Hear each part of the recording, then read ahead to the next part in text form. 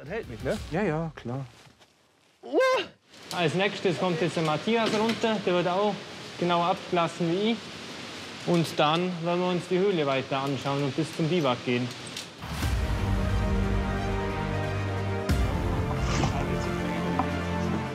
Oh, ja, ja, ja, ja.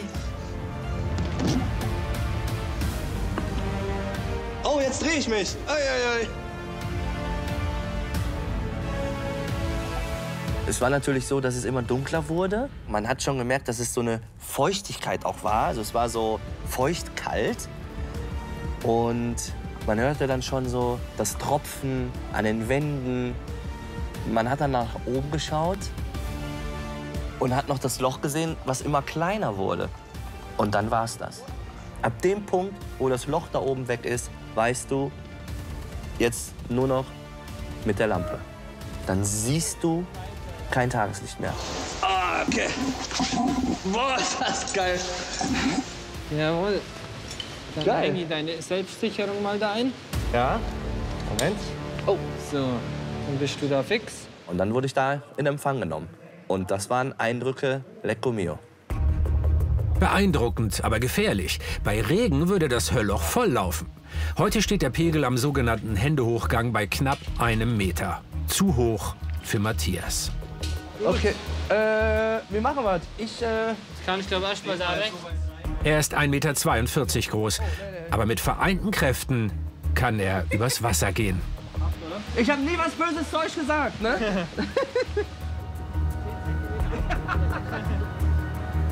ja, danke, Männer. Bitte schön. Aber hier geht's, ne? Hier gehe ich an den Rand. Man muss auf Schritt und Tritt wirklich aufpassen, weil es gibt dann spitzes Gestein, sage ich mal. Dann wieder so ein bisschen flacheres, was aber gleichzeitig auch wieder ein bisschen rutschiger ist, wenn da ähm, Feuchtigkeit drauf ist. Einige Teile der Höhle sind sogar nur mit dem Boot der Höhlenforscher passierbar. Das war echt cool. Müssen wir jetzt da hoch? Genau, jetzt müssen wir da rauf. Vier Stunden sind Matthias und Niklas bereits unterwegs. Endlich erreichen sie das Biwak. Ich bin da. Puh. Wer hat denn das hier alles gebaut? Das war so die Generation um meinen Vater. Hier ist ja alles ein Waschbecken. Ja, fließend Wasser haben wir. Was ist das hier? Das ist Pissoir. Pissoir habt ihr auch hier. Mit Spülung sogar. Mit Spülung. Das ist ja geil. Die Challenge ist zur Hälfte geschafft. Jetzt äh, kommt noch die Nacht. Kälte, Klettern, extreme Feuchtigkeit. Bisher kein Problem für Matthias.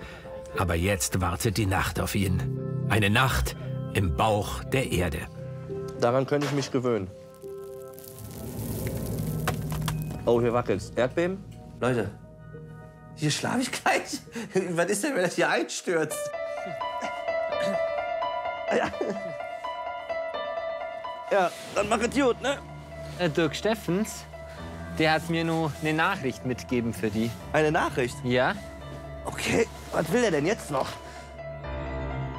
Lieber Matthias, bis ins Biwak hast du es geschafft, aber der spannende Teil, der kommt jetzt erst noch. Denn in der Nacht hörst du den Berg sprechen. Zum einen kommt das vom vielen Wasser, aber das können auch die Bewegungen des Gesteins sein, also geologische Verschiebungen.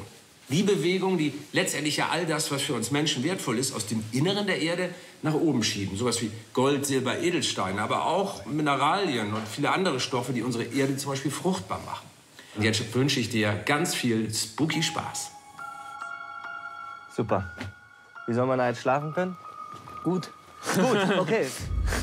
Zeigen wir ihm jetzt. Ah, ich würde sagen, wir hauen uns hin. Jawohl. Schlaf gut, mein Lieber. Gute Nacht. Gute Nacht.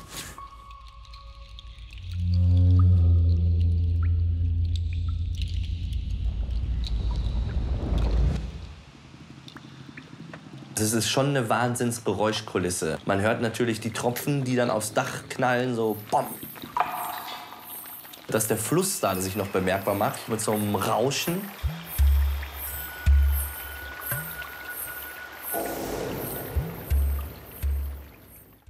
Matthias ist von seiner Expedition in die Unterwelt schwer beeindruckt.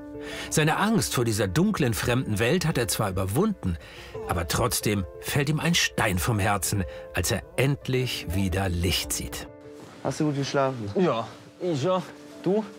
war äh, natürlich von der Geräuschkulisse schon sehr ähm, ja, aufregend, weil man ja schon einiges hört. Hätte ich nicht gedacht. Sehr gut.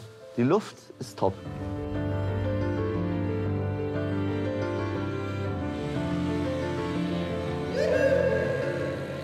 Dieses Gefühl äh, werde ich nie vergessen. Das ist wie eine Auferstehung. Oh, ich bin da. Ich war auf einmal sehr, sehr, sehr stolz auf mich. Ich meine, ich habe jetzt in der Höhle geschlafen. Also jetzt kann ich ja wohl überall schlafen. Oder? Entschuldigung hier. Mission erledigt.